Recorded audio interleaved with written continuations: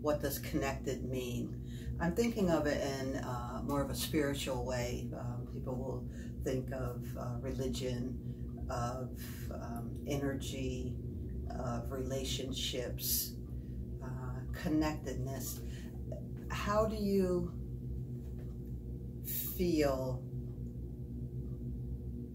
I suppose I'm very interested in this right now because I'm going through a phase right now in my life that's talking about follow your path, follow your lineage, see what's been going on in the cultures of your past, and follow that. Be brave, uh, be courageous.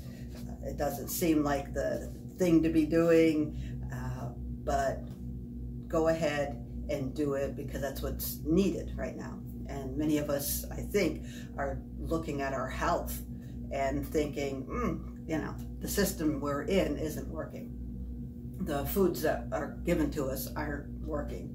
The medicines that we're taking are too much. They're, they're not working for us. So how did we do it in the old days? What is our lineage? How did we heal? Through dance, through sound, through gardening, through hunting, through community of uh, gathering with our tribes to um, to exist. So, what is your connectedness? How are you connected? Where do you fit in on the scale of um, happy, connected, um, feeling one with another, giving, taking? Is it spiritually, religiously? Is it energetic? Let me know.